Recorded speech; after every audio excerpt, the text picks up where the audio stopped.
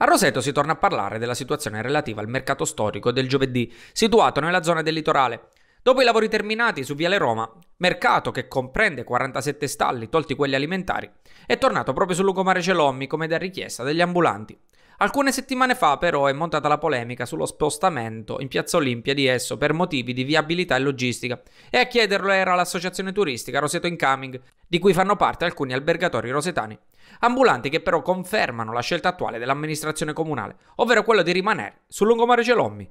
Allora, noi eh, vogliamo rimanere qui perché crediamo che eh, a Roseto non ci sia un posto alternativo, perlomeno per quanto riguarda il mercato del giovedì.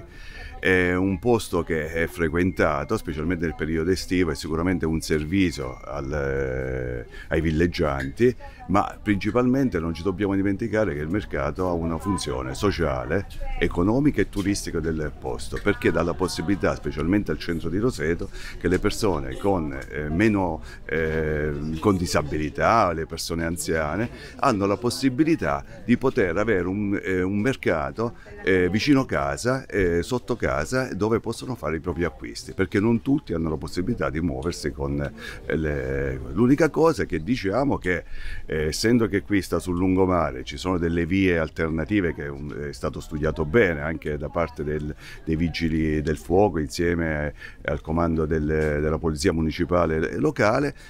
che i divieti di sosta per eh, far passare i mezzi di soccorso vengono rispettati, cioè questo è quello che diciamo, questo non è solamente eh, per noi ma per tutta la cittadinanza di Roseto.